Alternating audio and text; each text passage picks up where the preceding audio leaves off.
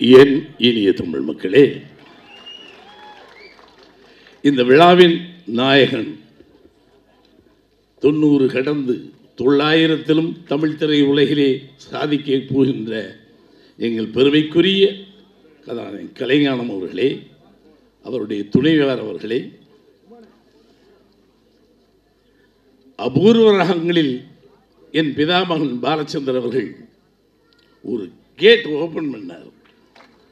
ஒரு gate open பண்ணாரு ஒரு ஸ்டார் பறந்து வருது. இன்றைக்கு வரைக்கும் ஆயிரக்கணக்கான கேட் ஓப்பன் ஆகி போய்கிட்டே இருக்கார் பயணம். அத்தகைய பெருமைக்குரிய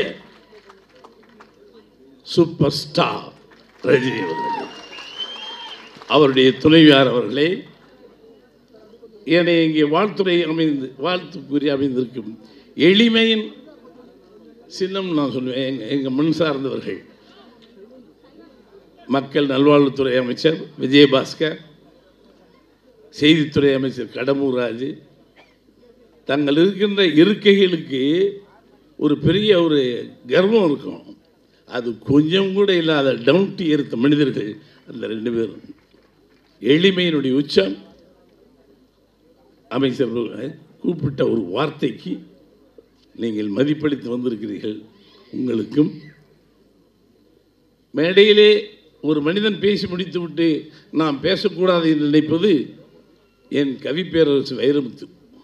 அவர் பேசி முடித்து பேசுவது என்பது சப்புன்னு போயிடும்.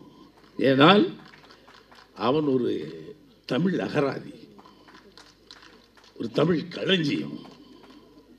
கம்பீரத்திலும் சரி எழுத்துகளிலும் சரி வாழ்க்கையிலும் நடையிலும் உடையிலும் கூட அந்த கம்பீரம் உண்டு.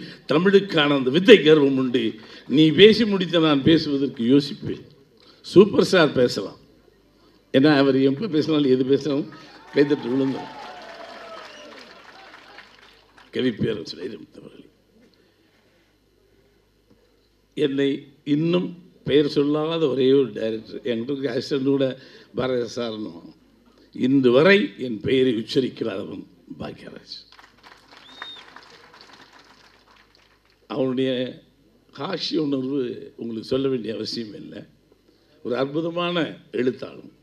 திரைக்கதை பற்றி பேச ஆரம்பித்தால் அவன் பெயர் வராமல் இருக்கவே இருக்கார் என் சிஷின் பாக்யராஜ் அவர்களே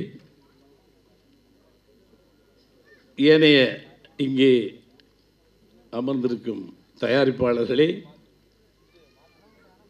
கலைஞர் பெருமக்களே ரசிக பெருமக்களே ஊடகங்களே செய்தி தொடர்பாளர்களே அனைவருக்கும் வணக்கம்.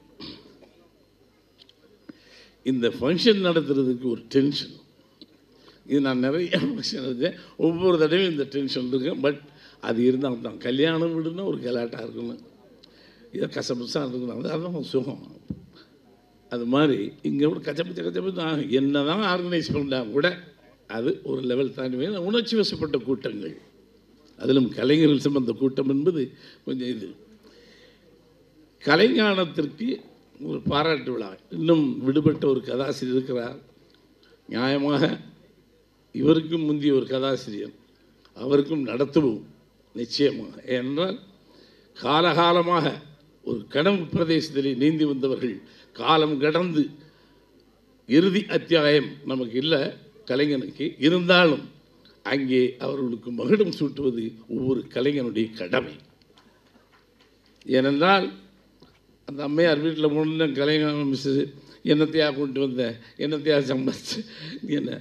அவன் சொன்னான் இது பாருங்கள் இந்த மக்கள் தான் அவர் சம்பாரிச்சு சொன்னோம் அது அல்ல அவரும் கொஞ்சம் வினயமாக இருந்திருக்கணும். வினயம் இல்லாமல் ஆள். பாருங்கள் சிரிப்புலேயே ஒரு மகிழ்ச்சியாக ஒரு சிரிப்பு ஒரு தல தல தல தலன்னு ஒரு மூஞ்சி.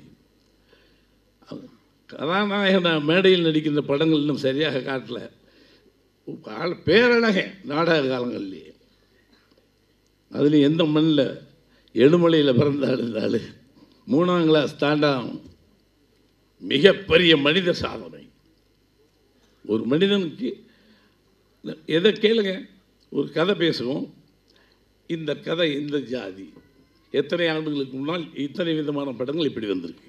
அது ஹிந்தியா தெலுங்கா கன்னடம் எல்லாத்தையும் சொல்கிறோம் அது ஒரு டிக்ஷனரி மாதிரி. அதே மாதிரி இன்னும் ஏதாவது பேசுவோம். அது நான் என்ன நினைக்கிறேன் இதை மாதிரி இதெல்லாம் வந்துருச்சுன்னு அப்போ தான் தெரியும் நம்ம பழைய கதையை திருப்பி போட்டுக்கிட்டு இருக்கோம் அதே மாதிரி இவனுக்காக நொண்டி அடிக்கிறான் கதையில் படம் கொஞ்சம் சிக்கலில் மாட்டுக்குன்னா நேராக வைத்தியர் மாதிரி இவரை தான் கூப்பிடுவாங்க இந்த கிளைமேக்ஸ் கொஞ்சம் புரியல. வாங்க. இவர் போய் கத்தி கபடாவோட போய் உட்காந்து அதை சரி பண்ணிட்டு வந்துடுவார் மிகப்பெரிய ஆற்றல் படைத்த கலைஞன். சும்மா ஒன்று டிசர்வ் ஃபார் எவ்ரி திங் ஒரு அற்புதமான எழுத்தாளன். இன்னொருத்தன் போயிட்டான் கலைமணி. இன்னொருத்தன் செல்வராஜ் இருக்கான்.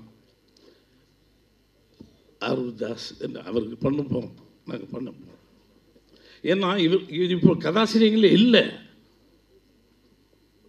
நல்ல கதாசிரியர்கள் ஒரு ஒரு கதையை வச்சுட்டு எல்லா இயக்குனருமே அவங்கவுங்களே பண்ணிக்கிறாங்க இன்னொருடன் கதையை வாங்கி நீ உள்ளே கலக்கும் பொழுது தான் ஒரு வித்தியாசமான கலவை வரும். புதிய புதிய தோற்றங்கள் வரும். ஒரு ஆணும் பெண்ணும் இணைந்தால் தான் பிள்ளை பிறகு ஆணுக்கு ஆணு பிறக்க முடியாது. ஸோ யூ ஷுட் கிவ் அந்த ஸ்கிரிப்ட் இன்னொருத்தங்கிட்ட வாங்கு. உன்னுடைய பதிவு என்ன உள்ளது அது புதிய பரிமாணத்தில் வரும்.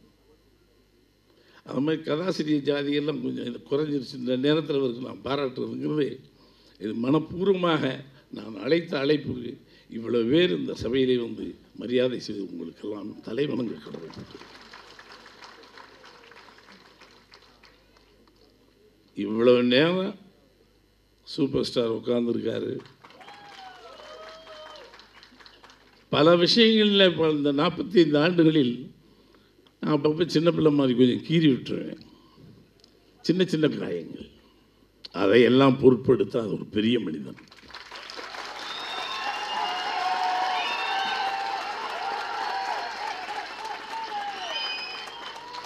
பாரதி சார் விடுங்க பாரதி சார். விடுங்க விடுங்க விடுங்க பாரதி சார். ரொம்ப பேசினா அவர் ஒரு குழந்தைன்ட்டு போயிடுவார். It's a great soul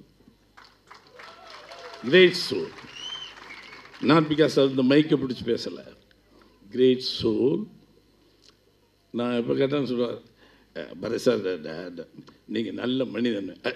நல்ல மனிதன் என்னை நல்ல நடிகன் சொல்ல வய மாட்டாருன்னு சொல்லுவார். ஆறிலிருந்து அறுபது வரை ஒரு படம் போதும் உன் வாழ்நாள் முழுவதும் நீ எவ்வளோ பெரிய குணச்சித்திர நடி என்று சொல்லுவார் மக்களை புரிந்து கொண்டாய் எப்படி சர்வே பண்ணு இல்லைன்னா ஒரு சோழனா போய் போட்டுக்கிட்டு தாடி வந்து அறிவு இன்டலெக்சுவல்னு போயிட்டு இருக்கணும். சரியாக மக்களை தராசில் போட்டு பிடித்தாய். இவர்களுக்கு எவ்வளவு கலவையில் என்ன வேணும் எவ்வளவு ஹாஷ்யம் வேணும் எவ்வளவு வீர வேணும் எவ்வளவு வேக வேணும் என்பதை தெரிந்து வைத்துக் கொண்ட வித்தை உனக்கு கைவந்த கலை. அதனால அந்த ரசிக்கிறதெல்லாம் கிளாசிக் ஃபிலிம் பார்க்குறதெல்லாம் கிளாசிக் ஃபிலிம் ரசிப்பார். பிரம்மாமா ஆனால் பண்ணுறதா இப்படி தான் பண்ணார். இவ்- அவர்களுக்கு என்ன தேவையோ அதை கொடு. அந்த பாதையில் தெளிவாக இருப்பார். ஒரே ஒரு உதாரணம். என்னை அவர் ஜட்ஜ் பண்ணார். குரு சிஷியன்னு ஒரு படம்? பிரபு வச்சுருப்பாங்க. அது ரிலீஸ்க்கு முன்னாடி போட்டு பாடும் அப்போ வாங்க பரச பரச வாங்க நானும் கொஞ்சம் நாள் படம் வாங்கினேன் எனக்கு நம்முடைய டேஸ்ட் கொஞ்சம் வேறு. படம் முடிஞ்சுச்சு என்ன என்ன வருது எப்படி எப்படி? என்ன என்ன இதை போய் ஒரு படம் கஷ்டமாக இருக்குங்க படம் ஹீட்டுன்ட்டார். எப்படி சொல்லியோ படம் ஹீட். நீ உனக்கும் பத்து பேருக்கு புரிஞ்ச மாதிரி படம் எடுக்கிறோம் நூற்றுக்கணக்கான ஆயிரக்கணக்கான கோடிக்கணக்கான மக்களுக்கு புரியறதுக்கு படம் எடுக்கிறோம். எல்லாரும் அறிசார்ந்தா இருக்க முடியும். அப்படிங்கிறது. அந்த வித்தி தெரிந்த மனிதன் இந்த சபையில் கலைஞானத்தை பாராட்டுவதற்கு உன்னை தவிர சரியான ஆள் இல்லை.